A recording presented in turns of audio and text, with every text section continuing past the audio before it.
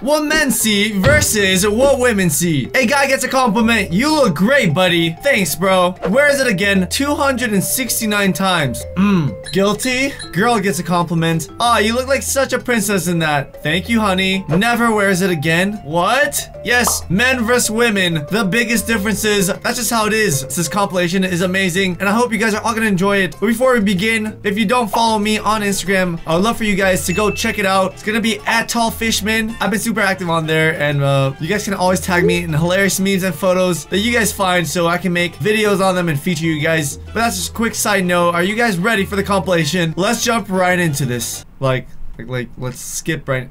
Let's go! Spooning. Girls love it. It's cute, warm, and they fall straight asleep. But boys, face full of hair, dead arm, and an awkward boner.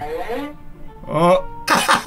What women see when they look at the mirror. So a skinny girl actually still feels like she's too fat. That is not okay. I'm gonna sneeze.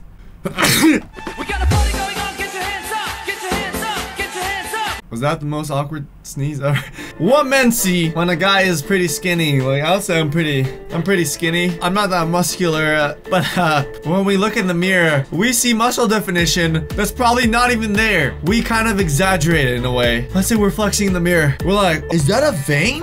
Bro, bro, bro. Very, very relatable. Women always worry about things that men forget. And men always worry about things women remember. Quoted by Albert Einstein, the man himself.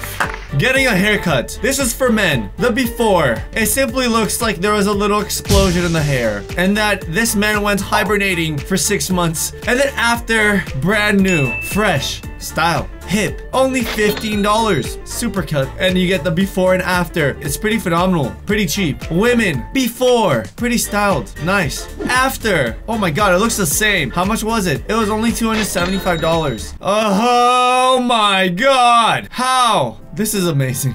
Three words to ruin a man's ego. Is it in yet? Oh, sh And three words to ruin a woman's ego. I don't know kid-friendly channel. Okay, here on Reaction Time, we can, uh, yeah, let's keep going. How guys think it will be after breaking up. Party, girls, versus reality.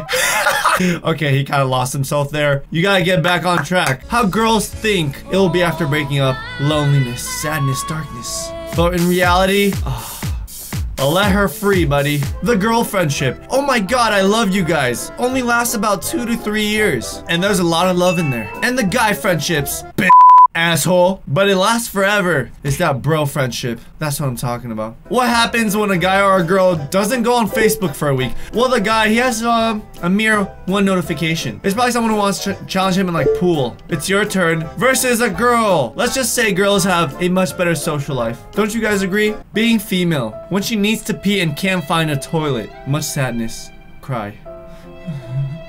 I gotta pee. Being male, toilets. Toilets everywhere.